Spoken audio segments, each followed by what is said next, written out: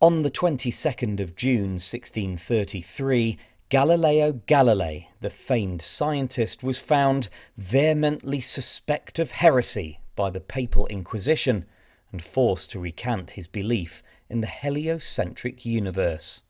Welcome to HistoryPod.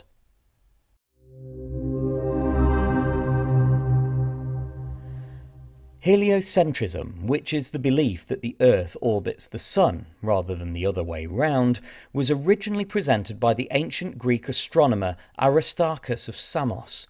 It gained more traction in the medieval period as a result of Copernicus publishing his model in 1534. Galileo had first visited Rome in early 1615 in order to defend his belief in heliocentrism after complaints were made to the Inquisition.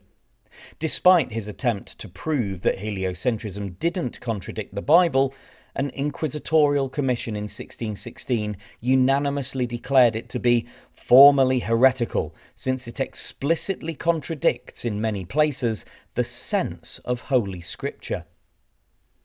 At that time, Galileo was ordered to abandon completely the opinion that the sun stands still at the centre of the world and the earth moves, but was permitted to discuss heliocentrism in theory.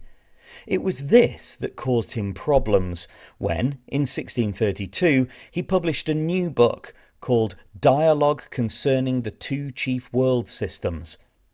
Although written with permission from the Inquisition and the Pope, the book implicitly defended heliocentrism.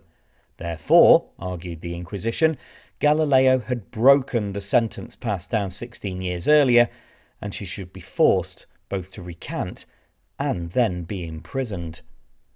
Galileo was sentenced to house arrest, and he remained there for the final nine years of his life.